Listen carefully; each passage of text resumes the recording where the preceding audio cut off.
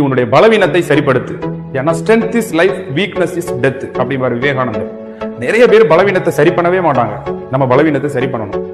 அதுவும் நீ உற்சாகமா இருக்கும்போது நீ படிக்க வேண்டிய சப்ஜெக்ட் எதுனா பலவீனமான சப்ஜெக்ட் தான் படிக்கணும்.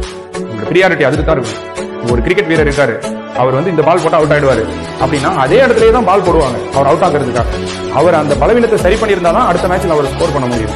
அதே போல தான் நீங்களும். இந்த லைஃப்ல உங்களுக்கு எது பிரச்சனையா இருக்கோ அதுல இருந்து நீங்க மீண்டு வரணும் அப்படிங்கறத மனசுல நினைச்சிருக்கணும். எது உனக்கு பிடிக்கலையோ அதை தான் நீ செய்யணும். காலையில எந்திரிக்கிறது உனக்கு கஷ்டமா இருக்கும். ஆனா நீ எந்திரிச்சிட்ட அப்படின்னா நீ வெற்றியாளர். இதெல்லாம் உனக்கு ஒத்து போகாதுன்னு நினைக்கிறியோ? அதுல நீ என்ன செஞ்சுக்கணும்? என்னாலே முடியும் நான் அட்ஜஸ்ட் பண்ணிப்பேன். நீங்க நினைக்க நினைக்க நினைக்க நீங்க வெற்றி அடைகிறீங்க